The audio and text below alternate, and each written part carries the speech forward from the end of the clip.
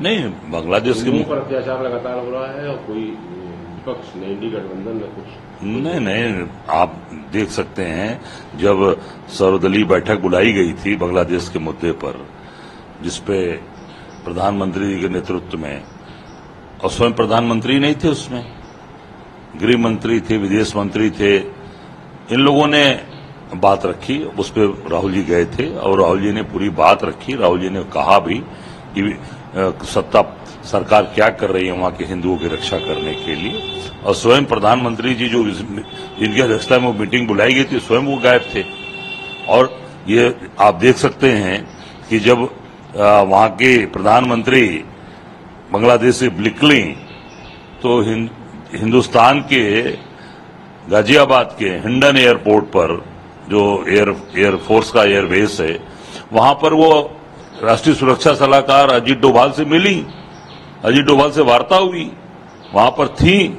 उसके बाद से उनका पता नहीं चल रहा है कि कहाँ वो वहीं पर रुकी हैं कि कहाँ गई हैं। मैं समझता हूँ कि इसके बारे में इनको स्पष्ट करना चाहिए भारत के प्रधानमंत्री को कि शेख हसीना जी कहाँ हैं। हिंदुस्तान में हैं, गाजियाबाद के एयरबेस पे हैं या कहीं बाहर चली गई। ये तो पूरे देश ने देखा, पूरी दुनिया ने देखा कि उनके राष्ट्रीय सलाहकार उनसे मिले।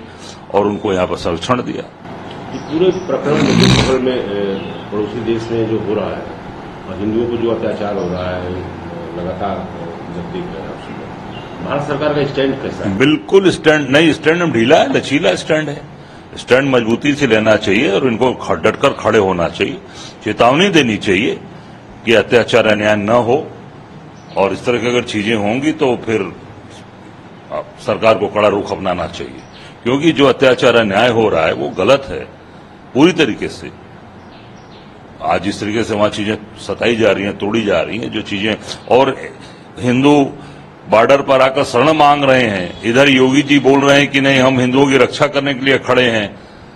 यहाँ पर बोल रहे हैं, उनका बयान मैंने पढ़ा अयोध्या में, केवल चुनाव के लिए वोट लेने के लिए उपचुनाव में।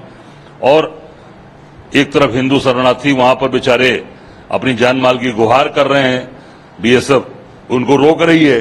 अरे उनको अगर वो दिक्कत परेशानी है तो उनको शरण दीजिए। आप हिंदुओं की रक्षा की बात करते हैं तो उनको शरण दीजिए, उनको, उनका, उनकी मदद करिए और उनके साथ खड़े हुए सरकार को चेतावनी दीजिए। जो बड़ी बड़ी बात बोलते हैं ये लोग, ज़मीन पर कुछ नहीं कर पा रहे हैं। पड़ोसी देश में हिंदू परेशान है और यहाँ पे भारत सरकार का जो स्टैंड है वो किस तरह का लचीला स्टैंड है कोई स्टैंड भाई बिल्कुल इनको वहाँ मजबूती से चेतावनी देनी चाहिए वहाँ की सरकार को कि अगर नहीं रुकेगा तो हम इस पे फिर कड़ा रुख अख्तियार करेंगे और निश्चित तौर से उस पर आगे की कार्रवाई सबसे बात करके आगे निर्णय लेना चाहिए कि इस पे क्या करना है क्योंकि इस तरह का अत्याचार अन्याय तत्काल बंद करे। तत्काल बंद होना चाहिए चीज़ें खराब हो रही हैं और इस पर केंद्र सरकार को मोदी जी को जो बड़ी बड़ी बात बोलने वाले ये लोग हैं केवल हिंदुत्व की बात करने वाले स्टैंड नहीं ले रहे हैं स्टैंड लेना चाहिए और डटकर खड़ा होना चाहिए और वहाँ हिंदू समाज की रक्षा करने के लिए इनको आगे आना चाहिए। कुछ लोग कह रहे हैं कि भारत में भी बांग्लादेश की स्थिति आ सकती है। देखिए वो स्थिति परिस्थिति जब आएगी तब देखा जाएगा वर्तमान की जो स्थिति है जहाँ पे आपके लोग सताए जा रहे हैं जहाँ परेशान किए जा रहे हैं केवल झूठी बात ना बोलकर उनको उनकी मदद करिए उनके शरणार्थियों को शरण दीजिए उनकी रक्षा करिए उनके साथ पूरी मुस्तैदी और डटकर खड़े रहिए। निश्चित तौर से पूरा देश ये चीज़ देख रहा है। बंगाल में एक डॉक्टर के साथ ब्रूटली रेप हुआ है। बड़ी वहाँ पे तूफ़ान मचा हुआ है। किस तरह की कानून व्यवस्था हैं? नहीं देखिए पूरी तरीके से पूरे मैं कहना चाहूँगा बंगाल हो चाहे वो उत्तर प्रदेश हो, कहाँ अभी उठाकर आप देख सकते हैं, हर जगह अत्याचार अन्याय बढ़ रहा है। कहीं बाकी नहीं है। जहाँ पर भी इस तरह के दरिंदे हैं, जिस जगह पर ऐसी घटनाएँ घट रही हैं, उनके खिलाफ कठोरतम कार्रवाई करनी चाहिए, उनको फांसी देनी चाहिए, उनके ऊपर कार्रवाई करनी चाहिए। ऐसे लोग हैं जो डॉक्टर, के डॉक्टर के साथ ऐसा किया, आम लोगों के साथ ऐसा लोग कर रहे हैं, वो पूरी तरीके से, वो अमानवीय कृत्य है, वो गलत लोग हैं, उनके खिलाफ फांसी की सजा होनी चाहिए। उत्तर प्रदेश में अपराधियों पर लगाम लगने का दावा, लगाने का दावा उत्तर प्रदेश सरकार खुद कर रही है। कहीं लाइन लगा करके फिरोजाबाद में कई अपराधी थाने में सरेंडर कर रहे हैं और माफ़ी मांग रहे हैं। इस तरह का दावा किया जा रहा है कि कानून व्यवस्था है कि बिल्कुल दुरुस्त है। ये सब देखिए, नाटकबाजी है।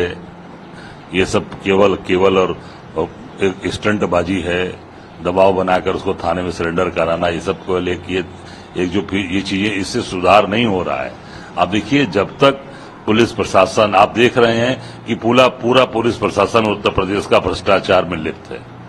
आपने देखा अभी बलिया का मामला, देखा अभी आपने लखनऊ कई जगह के मामले, इस तरह की चीज़ें जो सामने आ रही हैं। तमाम में से जितने बॉर्डर की जितने ज़िले हैं, जितने ज़िले बॉर्डर के आपको बताता हूँ, शहर के अंदर, हर जगह पूरी तरीके से पुलिस जो है, इस चीज़ में लगी हुई है, पर सरकार का कोई नियंत्रण नहीं रह गया, और पूरी तरीके से अब थाना का थाना सस्पेंड हो रहा है। पहले कभी ऐसा होता था। अब सिपाही को पकड़ने के लिए अधिकारी जा रहे हैं एडीजी जा रहे हैं। सूची ऐसा कभी नहीं हुआ था। पहली बार ऐसा हो रहा है कि जब पुलिस के ऊपर ही नियंत्रण नहीं रह गया तो कानून कहाँ से सुधरे? कानून व्यवस्था सुधारने वाले पुलिस के लोग हैं। वो खुद ही पूरी तरीके से भ्रष्टाचार में लिप्त हैं। केवल और केवल पैसा कमाना, प्रताड़ित करना। अभी देखिए, एक मुख्यमंत्री के घर के सामने एक गई महिला उसको आग लग गई। ठीक है वकील की गलती है वकील ने गलत काम किया चढ़ाया पर वो क्यों पर, क्यों परेशान हुई? क्यों ऐसा करने के लिए बाध्य हुई? इसमें भी जाना चाहिए सरकार को कि बाध्य क्यों ऐसे ऐसा काम क्यों उस, उस बिटिया ने किया? उस, उसको ज़रूर गंभीरता से देखना चाहिए। क्यों? क्योंकि लोगों को न्याय नहीं मिल रहा है।